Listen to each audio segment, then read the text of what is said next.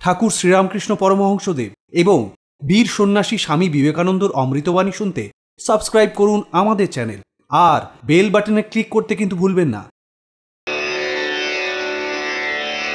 জাতি ধর্ম নির্বিশেষে, যিনি সকল মানুষের পরম গুরু, একান্ত আশ্রয়, যিনি জ্ঞান ও ভক্তির সাগর, তিনি শ্রী শ্রী রামকৃষ্ণ পরমহংস।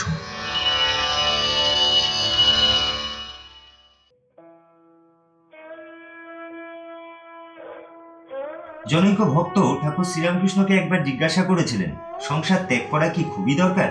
তার উত্তরে, ঠাকুর শ্রীরামকৃষ্ণ কি বলেছিলেন শুনেন।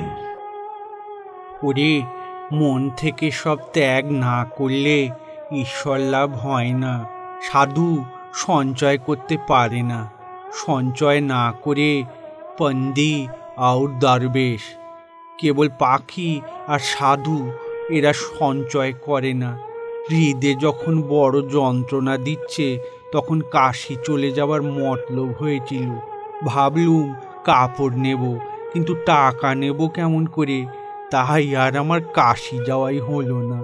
আসলে সংসারীরা কেমন হয় জানো? একজন তপস্যা করাতে ভগবতী সন্তুষ্ট হয়ে বললেন, তুমি বর নাও। বলে কি বর নেবে? সে বলল, মা যদি বরই দেবে, তবে এমন বর দাও যাতে আমি নাতির সঙ্গে বসে সোনার থালায় ভাত খেতে পারি। বোঝো, এক বরেতেই নাতি, ঐশ্বর্য, সোনার থালা সবই পাওয়ার ব্যবস্থা। জানো, ছেলে ভূমিষ্ঠ হয়ে কেন কাঁদে? প্রথমে সে গর্ভে ছিল, যোগে ছিল। ভূমিষ্ঠ হয়ে এই বলে কাঁদে, এ কোথায় এসে পড়লাম? ঈশ্বরের পাদপদ্ম চিন্তা করেছিলাম, কিন্তু এ যে কোথায় এলাম? সংসারে কাম, ক্রোধ, এই সবের সঙ্গে যুদ্ধ করতে হয়, নানা বাসনার বিরুদ্ধে যুদ্ধ করতে হয়। যুদ্ধ কেল্লা থেকে হলেই সুবিধে, ঘর থেকে যুদ্ধ করাই ভালো, খাওয়া পাওয়া যায়। ধর্মপত্নীর থেকে নানা রকম সাহায্য পাওয়া যায়।